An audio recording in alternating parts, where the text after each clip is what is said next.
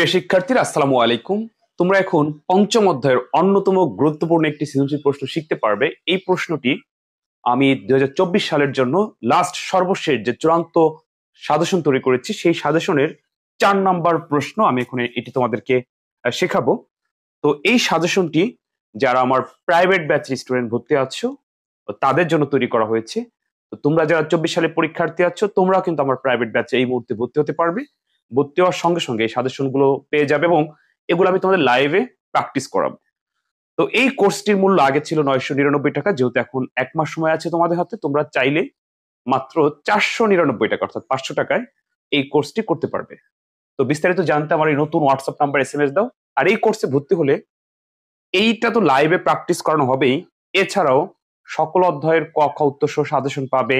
পুরো বইয়ের basic class record আকারে পেয়ে যাবে। অর্থাৎ তুমি এই রেকর্ডগুলো দেখে দেখে তোমার বেসিক ঠিক করতে পারবে। মনে করো তুমি বেসিক জানো না, তুমি কিন্তু কখনোই এই ধরনের প্রশ্ন পারবে না। ধরো আমি এখন যদি সম্পূর্ণ সমাধান করেও দেই, তাও তুমি বুঝতে পারবে না, কারণ তোমার আগে বেসিক জানতে হবে।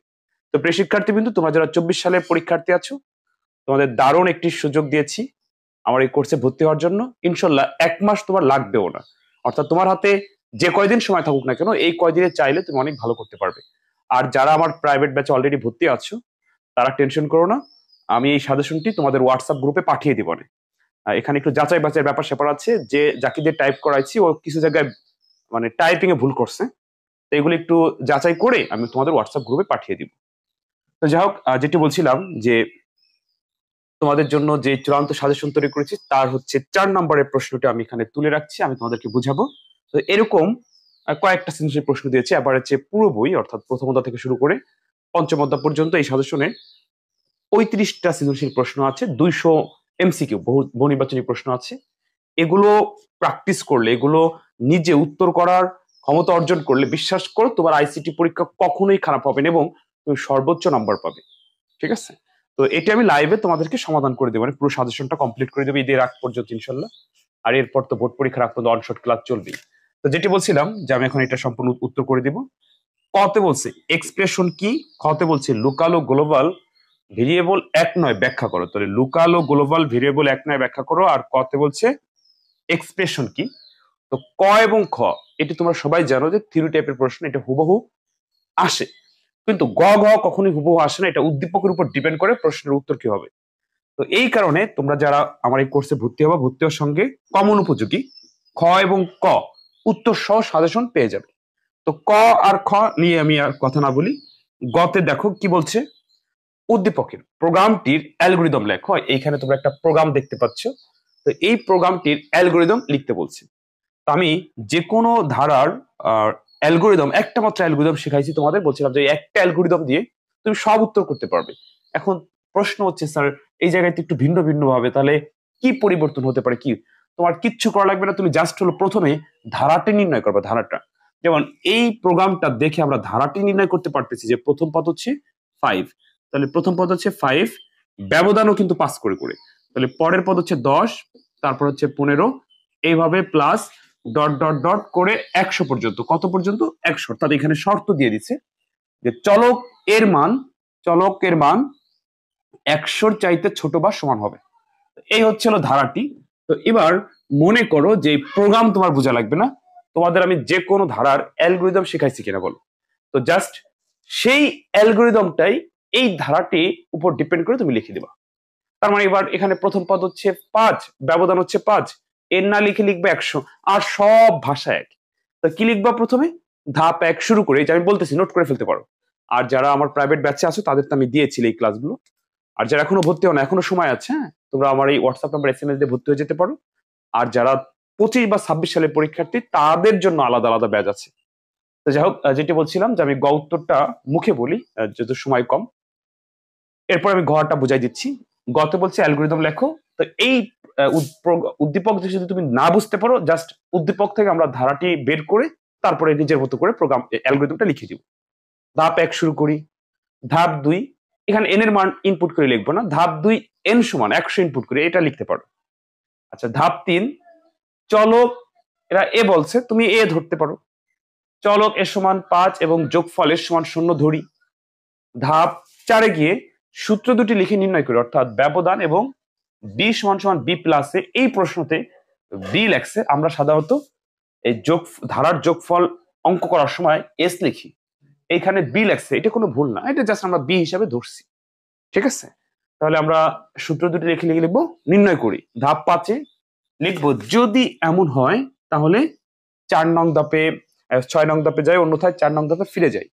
ধাপ ছয়ে যোগফল এস মান প্রিন্ট করি ধাপ সাথে শেষ করি। এই যে যে আমি কমন কথাগুলো বললাম, সব ধারার অ্যালগোরিদমে এইভাবেই তুমি লিখবা জাস্ট শুধু পরিবর্তন হবে, প্রথম পদ কত, ব্যবধান কত, আর শর্তে কি দেওয়া আছে। আশা করি বুঝতে পারছ। আচ্ছা এবার ঘ নাম্বারে বলছে যে, প্রোগ্রামটির প্রোগ্রামটি ডু লুপ ও হুইল লুপ দিয়ে সমাধান করা সম্ভব কি? কোডিং শো ব্যাখ্যা করো। তাহলে এই প্রোগ্রামটা আছে কিসে? আছে ফর লুপে এইটাকে তোমার ডু হুইল লুপ এবং হুইল লুপে করতে বলছে। আমি একদম সহজ করে বুঝাই, দেখো। তোমরা দেখলেই পারবে, একবার মাত্র দেখলেই পারবে। জাস্ট দেখার সাথে সাথে পারবে। আচ্ছা মনে করো এটা আছে ফর লুপে, আমি বললাম যে ডুহিল লুপে করব। তাই ডুহিল লুপে কি পরিবর্তন হবে? সব এক। জাস্ট এই ফরটা ভেঙে আমরা ডুতে লিখব। তাহলে ডু লেখার আগে প্রথম পদ কত আছে? এ সমান পাঁচ। এটা দিলাম। আর এই যে উপরে, এই পর্যন্ত সেম এই পর্যন্ত কোনো পার্থক্য নাই ওকে আচ্ছা। এবার ডুর মধ্যে হচ্ছে আমাদের ধাপ চারের এই যে এইটা এবং এইটাই সূত্র দুইটা লিখব সেকেন্ড ব্রাকেট দিয়ে। অর্থাৎ এ প্লাস সমান সমান ফাইভ সেমিকলন তারপর হচ্ছে বি সমান সমান বি প্লাস এ সেমিকলন এবার দ্বিতীয় বন্ধনী সেকেন্ড ব্রাকেট দিয়ে আটকালাম। আমাদের বলছে ডু হুইল লুপ মানে ডু লুপ মানে ডু হুইল লুপ এবার হচ্ছে আমরা হুইল লিখলাম হুইল লিখে এই এই শর্তটা তুলে দিব। অর্থাৎ এর মান একশো থেকে ছোট বা সমান গ্রহণ যোগ্য। শেষ হয়ে গেল। আচ্ছা এরপর নিচের টুক যা আছে শেষ, উপরে যা ছিল শেষ, এইটুক দেখে দেখে লেখলা তুমি চারের দুই পাইলা, কারণ আমাদের এখানে প্রোগ্রামটি দুইটা লুপে লিখতে বলছে, ডু হুইল লুপ এবং হুইল লুপে। তাহলে আমরা জাস্ট অলরেডি এটা দেখে দেখে, কোন লুপে লিখলাম, ডু হুইল লুপে মানে এই যে নিচে নিচে এই, এইটুক সেম এইটুক সেম উপরে এই পর্যন্ত সেম কোনো পরিবর্তন না জাস্ট শুধু এই, এইটুক আমরা ভেঙে দিয়েছি, এই, এইটুক ভেঙে দিয়েছি। এরকম আচ্ছা এবার এই ডু হুইল লুপ যে পারবে, সে কিন্তু হুইল লুপ পারবে। হুইল লুপ কেমন? আরও সহজ আরও সহজ। জাস্ট এই যে দেখো, এই লাইনটা খালি উপরে লিখবা। এই ডু লিখবা না, আমরা ডু না লিখে লিখব হুইল হুইল লিখে শর্তটা দিব যে চলক এর মান একশো থেকে ছোট বা সমান। আচ্ছা আর আর সব এক। অর্থাৎ এইটা কিন্তু নিচে নিচে বসাই দিব। এ সমান, এ প্লাস সমান ফাইভ অর্থাৎ এটা তুমি এরকম লিখতে পারো। এ সমান সমান এ প্লাস ফাইভ মানে পাস করে ব্যবধান। আচ্ছা আর সূত্র হচ্ছে বি সমান সমান বি প্লাস এ এবার সেকেন্ড ব্রাকেট দিয়ে আটকাও, শেষ। তো এবার আবার এটার নিচে যা, এখানে যা আছে তাই তাই। শুধু কি পরিবর্তন হয়েছে? এই হুইলটা আমরা এই ডু না লিখে এই জায়গায় লিখে দিয়েছি, অর্থাৎ ডুটা বাদ দিয়ে এলো সিস্টেম তো দেখো তো ডু হুইল লুপ এবং হুইল লুপ আমরা কীভাবে করলাম? এই প্রোগ্রামটা দেখেই করলাম। অর্থাৎ এইখানে যা ছিল সেটাই আমরা হুবহু তুলছি। শুধু পরিবর্তন করছি এই যে, এই জায়গাটুকু।